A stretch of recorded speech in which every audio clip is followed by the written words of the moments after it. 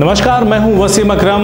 हाजिर हूँ मैं इस वक्त की सबसे बड़ी खबर के साथ सीआईबी इंडिया न्यूज़ पर। समाज से भी फैजल उर्फ़ बन्ने खान सुनवारा आजमगढ़ की तरफ़ से।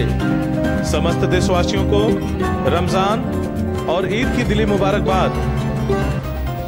शादी हुई, फिर हत्या या फिर संदिग्ध परिस्थितियों में मौत।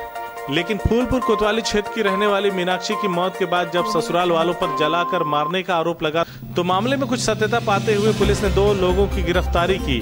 मृतका का पति अभी भी बाहर है और अब वह मुकदमा दर्ज कराने वाले लोगों को जान से मारने की धमकी दे रहा है।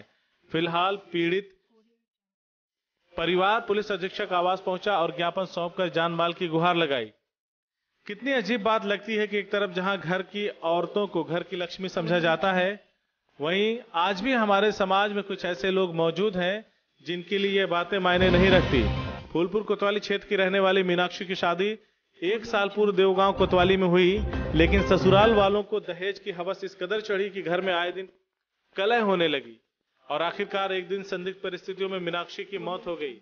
इस पूरे घटनाक्रम के बाद घर वालों के बयान के आधार पर पुलिस ने मृतका के पति, सास और ससुर के खिलाफ दहेज हत्या का मुकदमा दर्ज कर किस मामले में सास और ससुर की गिरफ्तारी भी कर ली गई है? जबकि उसका पति अभी भी फरार चल रहा है। मृतका के पति राकेश को यह लग रहा है कि अब कानून के सिकंजे में वह भी फंसेगा। लिहाजा उसने मृतका के घर वालों को धमकी देकर मामले में सुलह समझौता करने के लिए दबाव बनाना शुरू कर दिया है।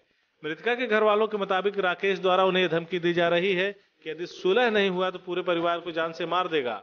धमकी से डरा शर्मा परिवार अब पुलिस अधीक्षक कार्यालय पहुँचा है, जहाँ पुलिस अधीक्षक को एक ज्ञापन सौंपकर अपने जान माल की सुरक्षा की गुहार लगाई आके मरवा मार दिए।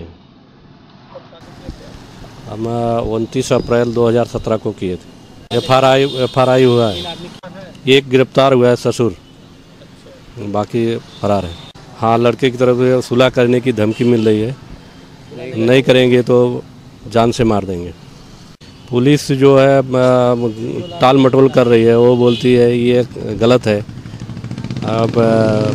जो दबाने की कोशिश कर रही है।